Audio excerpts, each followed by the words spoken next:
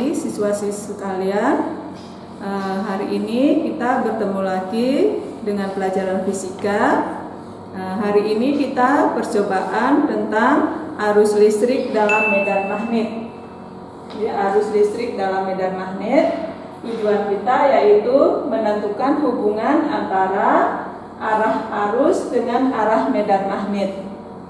Nah, nanti kita hasilnya akan ditulis dalam tabel arah arus misalnya dari timur ke barat kemudian arah medan magnetnya utara selatan.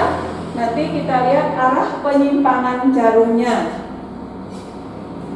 arah penyimpangan.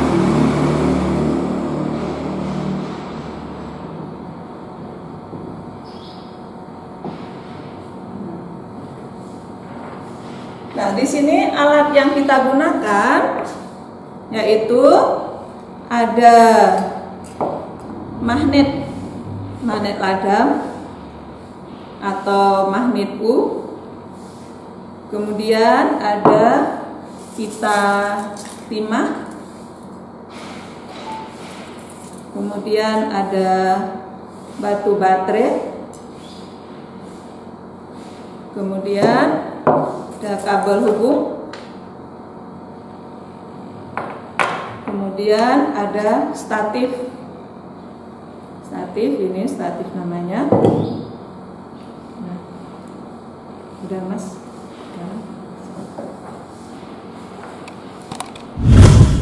Ya. nah eh, sekarang kita lanjutkan dengan eh, merangkai alatnya.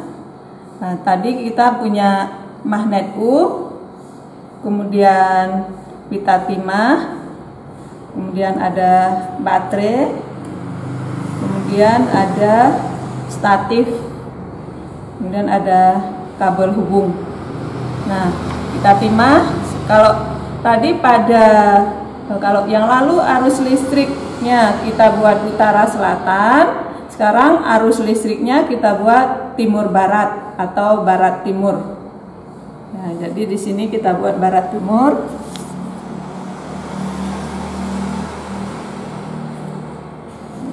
Jadi arah arusnya bisa dari barat ke timur atau bisa dari timur ke barat ya.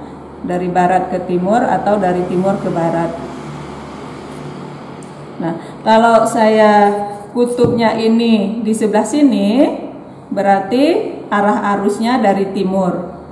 Kalau kutub ini di sebelah sini berarti arusnya dari barat. Nah, nanti kamu membandingkan uh, arah gerak pita timahnya. Saat arus di sebelah timur, timahnya ini bergerak ke atas atau ke bawah, itu yang perlu nanti kamu isi di sini. Jadi isi, nah bergeraknya ke atas atau ke bawah. Nah, sekarang kita coba dengan arah arusnya dari timur ke barat. Kemudian arah magnetnya ini Nah, ini ada kutub utara selatannya. Nah, kalau ini di sini S berarti ini S berarti sebelah sini U. Jadi di sini ada US-nya. Nah, ini. Jadi ini U berarti saya taruh begini, maka ini uh, medan magnetnya dari utara ke selatan.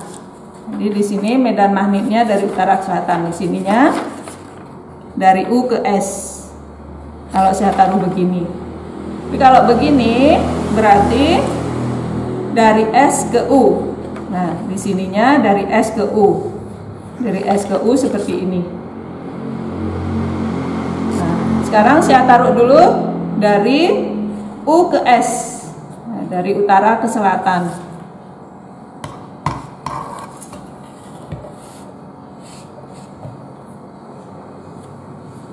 Nah, dari utara ke selatan, arah arusnya dari timur ke barat. Kemudian kita lihat arah gerak pitanya.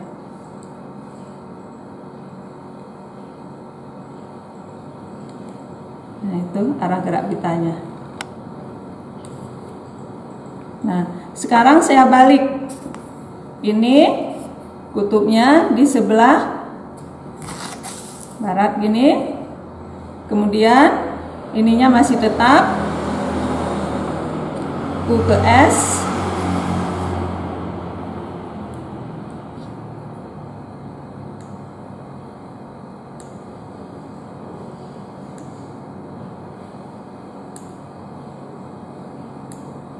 Nah, itu arah geraknya bisa dibaca ya.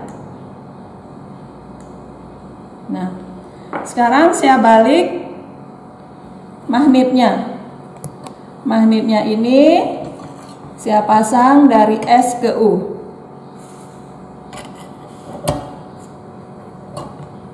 Jadi ini dari S ke U, dari S ke U, kemudian arusnya dari timur ke barat.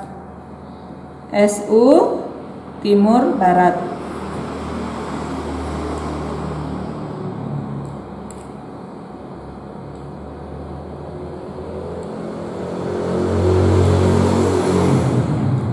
Dibaca? Tuh ya.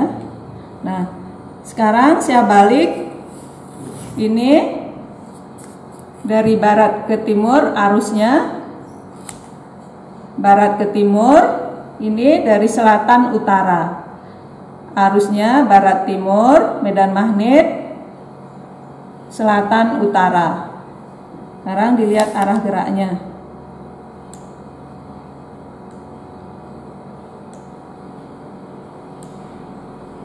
bisa dibaca ya nah itu ditulis di dalam tabelnya Nah, tuh. Nah, sekarang untuk halaman berikut eh, nanti kamu bisa mengisi di sini. Di sini digambar. Kemudian kita lanjutkan di sini. Nah, di sini kita ubah besar arus bagaimana besarnya gaya. Nah, artinya sekarang kita bandingkan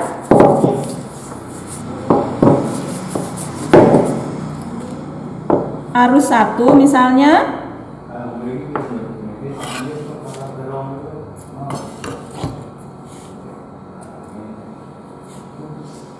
Nah, kita bandingkan misalnya satu baterai. Nah, itu dilihat gerakannya, berapa besarnya. Kemudian kita tambah baterainya dua. Nah, itu segitu kalau dua baterai kita tambah lagi baterainya jadi tiga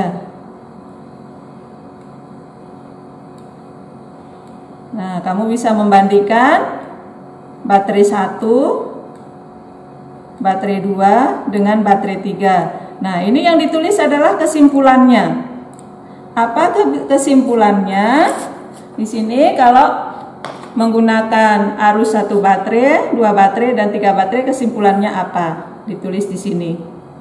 Nah, atau kita ulangi kalau satu baterai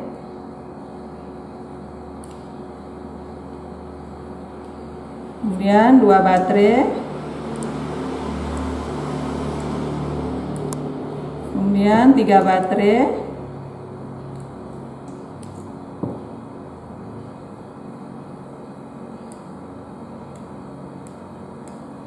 Nah, itu bisa dibandingkan ya. Nah, kemudian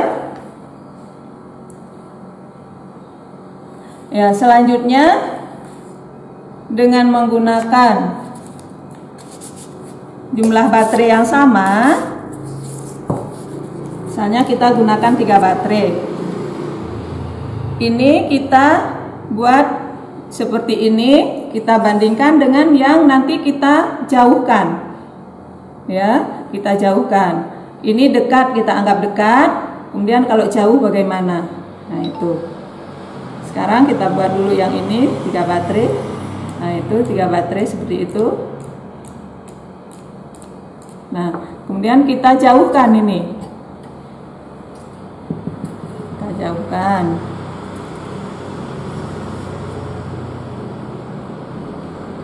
nah itu bisa dibandingkan. Semakin jauh lagi bagaimana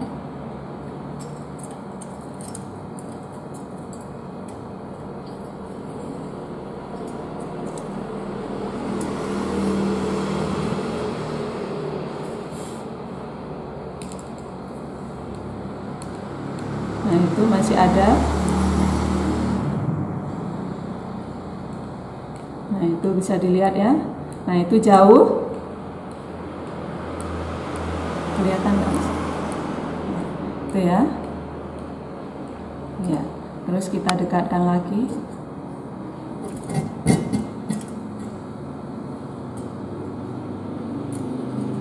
Dekatkan lagi Nah bandingkan semakin dekat Nah, semakin dekat lagi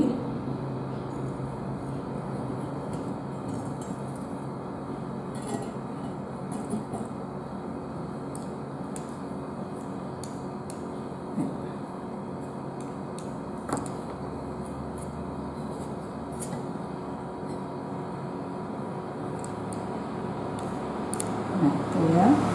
Jadi kamu bisa membandingkan yang jauh dengan yang dekat. Nah, itu. Nah, kalau sudah diisi di sini kubah besar medan magnet artinya kalau semakin dekat pengaruh medan magnetnya semakin besar. Bagaimana tadi hubungannya dengan gerak pitanya? Nah, bagaimana kalau ini dijauhkan? Berarti eh, pengaruh medan magnetnya bagaimana? Terus bagaimana dengan gerak pitanya? Ini diisi di dalam eh, lembar kerja. Kalau sudah, nanti kamu mengisi tugasnya ini. Jadi menjawab soal tugas, nah, baru nanti dikirimkan jawabannya di Google Classroom. Nah, demikian siswa-siswi sekalian, percobaan kita hari ini tentang uh, arus listrik dalam medan magnet.